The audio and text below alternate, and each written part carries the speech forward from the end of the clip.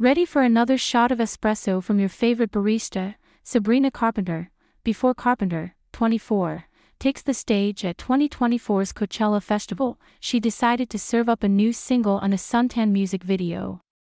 After literally dumping a creep, Carpenter enjoys a retro-themed beachside vacation, along with VIP service, mani-pedis and poolside service.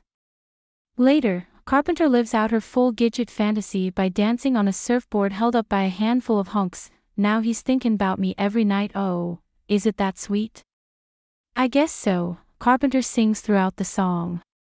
Say you can't sleep, baby, I know that's that me, espresso, however, the good times can't last forever. Credit card fraud is indeed a crime, and the police arrive with the dejected creep demanding his card back. Despite her best attempts to elude them, cops arrest Carpenter and throw her in the back of the car.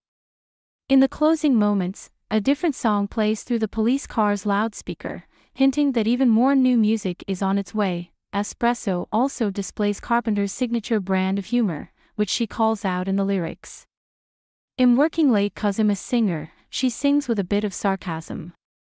Oh, he looks so cute wrapped round my finger my twisted humor make him laugh so often my honeybee, come and get this pollen, thank you. You have successfully subscribed, subscribe to newsletter subscribe by signing up, I agree to the terms and privacy policy and to receive emails from Jaga News deal of the day only 12.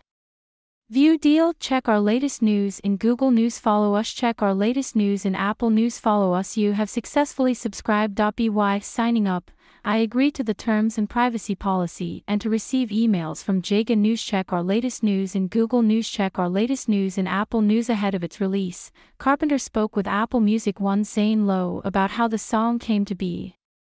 Weirdly enough, ended up writing Espresso in France, and I think that that probably had a little bit of inspiration to how the song ended up feeling, she said. It just had that excitement and that energy of almost kind of traveling the world, writing the song was a very, very quick process, she recalled, adding, from start to finish, I think that's why you can kind of feel how fun it is. There was something really exciting about the fact that there was so much personality throughout the entire song, because those are the ones that are really, really fun to sing live with a crowd. Carpenter will get a chance to sing Espresso to the crowd when she helps kick off Coachella. She's scheduled to perform on Friday, April 12, returning one week later on April 19.